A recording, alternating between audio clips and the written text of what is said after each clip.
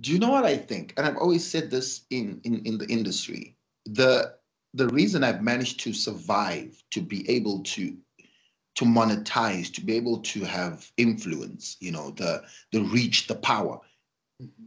If you are an artist and you know what you want, if you have a work ethic, your professionalism, if you say, if I say to you right now, plot, yes. I'm going to deliver your choreography in two hours, yes. I should have that in two hours. And another thing is you just have to be humble. It doesn't matter whether you know plot mark or you just there's a way you you should and it's a relationship that's cultivated. I've cultivated a lot of relationships over the years. You know what I mean? There's a lot of people who come to me and say, John to Dr. Araningi, can you make that happen? I make it happen. So these people, they, they all know what John Cole will assist you if you need something.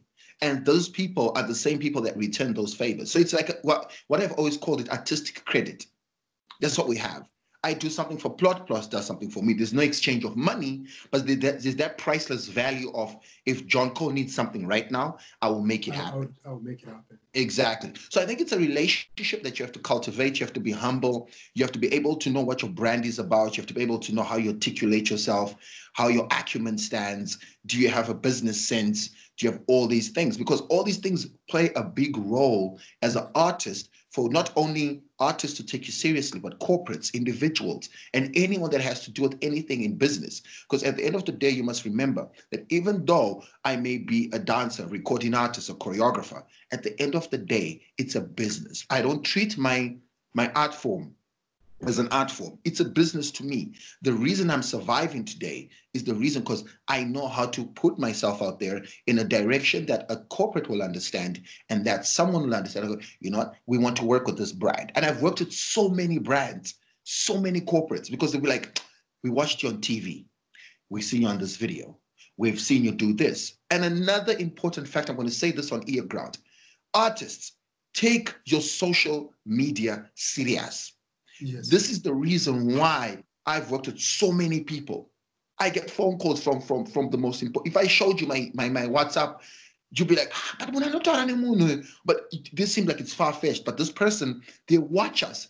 Corporate companies will be watching us, what we write, how we reply, how we comment, how we put our stuff out there. They will be pseudo names, Mkati Magaraso, Magaraso. And I've noticed that the mm-hmm. contracts Yes, the seventy percent of the contracts that I've that I've you know you know uh, been hired for, you know what? I remember you posted that thing about that thing. You're like, that was like a month ago, you know. But the truth of the matter, corporate companies will be watching us as artists, as creators, because they know Kuti at some time or at some point they're going to blow. So they come at us and they'll be watching us on Instagram. Because you remember you don't know what someone does. I know where you go like or comment, but I was yes. So these people they watch us, they come at us and they understand in these artists are doing something. But if you're not working that system, when you're not actually doing music, when you're not dancing, then who do you expect to run your social media? A social media is an embodiment of an artist's expression as uh, creativity. And not just that, it's the equilibrium of how an artist articulates with the world, how an artist engages with the world. So I feel like people should take social media serious.